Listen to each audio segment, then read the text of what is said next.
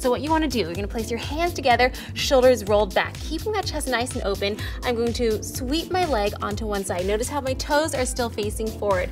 And then I'm simply going to lunge down. Notice how this leg is straight. My toes are tracking forward. My butt is back, my chest is opening forward.